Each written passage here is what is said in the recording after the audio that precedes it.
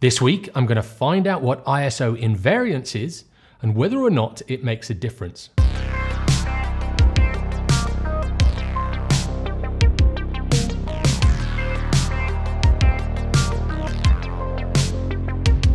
ISO basically refers to the voltage that runs across the front of the sensor. It's a standard that's been set by the International Standards Organization, hence the name ISO. The higher the voltage, the greater the amplification of the signal is from the sensor. So in the simplest of terms, if you raise your ISO, you can make your shutter speed faster and you can close down your aperture. If you lower your ISO, you'll have to open up your aperture or slow down your shutter speed to get the same exposure. Invariance basically means there's no change along the scale.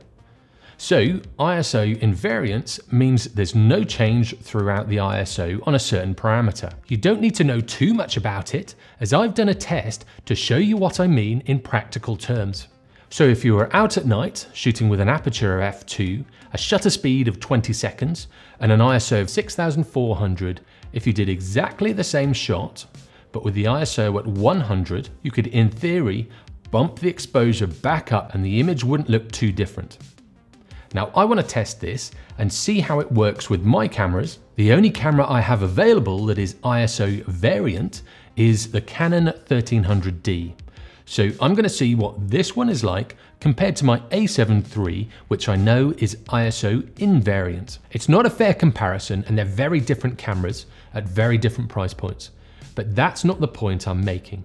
What I'm trying to show you is the difference between a camera that is ISO invariant and one that isn't. Now I'm trying to get my head around this and understand it as well, and that's why I'm making this video, so I can have a much deeper understanding of ISO invariance. I kept the aperture as wide as possible, and the shutter speed as long as possible, taking into consideration the 500 rule for the a7 III and the 300 rule for the Canon. The Sony could go further, and I have shot with higher ISOs, but I'm keeping them both at 6400, as this is the highest amplified ISO that the Canon will go to. I basically took 7 images on the a7 III, and 7 images on the Canon 1300D. This is before I've processed them at all.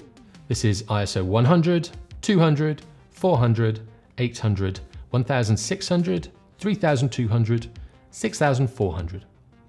I shot all of these on the 25mm Batis at f2 at 20 seconds. With the Canon, I used the Samyang 24mm f1.4. Even though it says 50mm, I think it does that with these cameras whenever you put a manual lens on there with no electrical connections. So even though it says 50 millimeters, it's not. This is the 24 millimeter Samyang at f1.4 at 13 seconds. So at 24 millimeters, I've followed the 300 rule and kept the exposure to 13 seconds. Any longer than this and the stars will streak. But I've got that extra light at f1.4 over f2. So with the Canon, that's at 100 ISO, 200 ISO, 400, 800, 1600, 3200, and 6400. Now if I switch over to the processed shots, I haven't done much processing at all to them. All I've done is leveled out the exposures so they all sit at exactly the same exposure.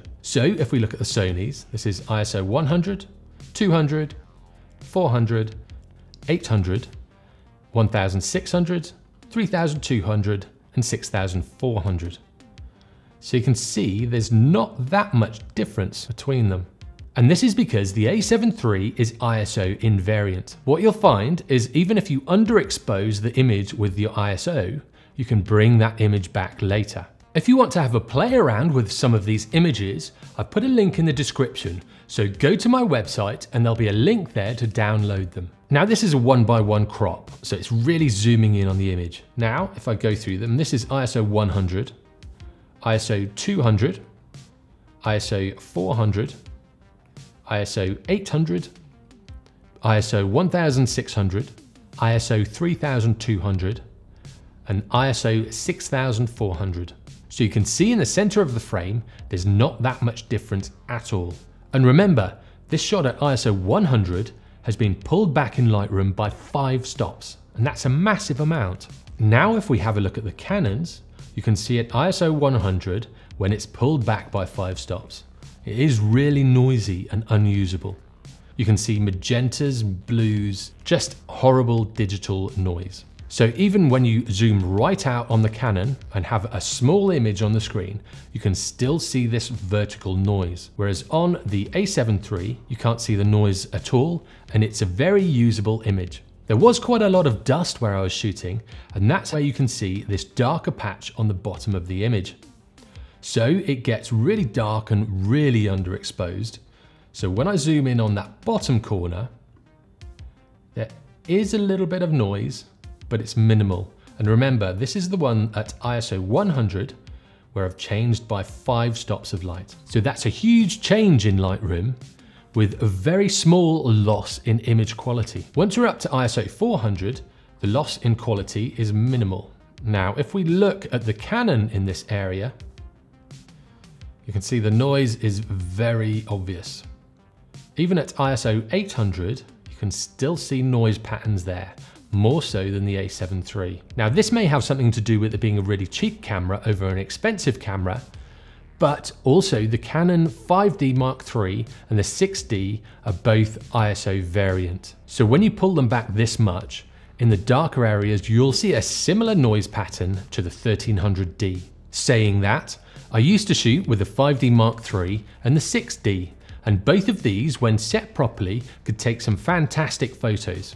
With the Canon 1300D, it did surprisingly well at the really high ISOs. And for such a cheap camera, that's great. You can get a really good camera that'll take pictures of the stars for not much money at all. But as we drop down, you can see that noise creeping in. When it's at ISO 400, brought back three stops, it's just about usable, but if you zoom in, you still get that noise pattern. Whereas with the Sony a7 III, at ISO 100, the image is very usable, and with some noise reduction, you'd even get rid of this noise pattern in the shadows.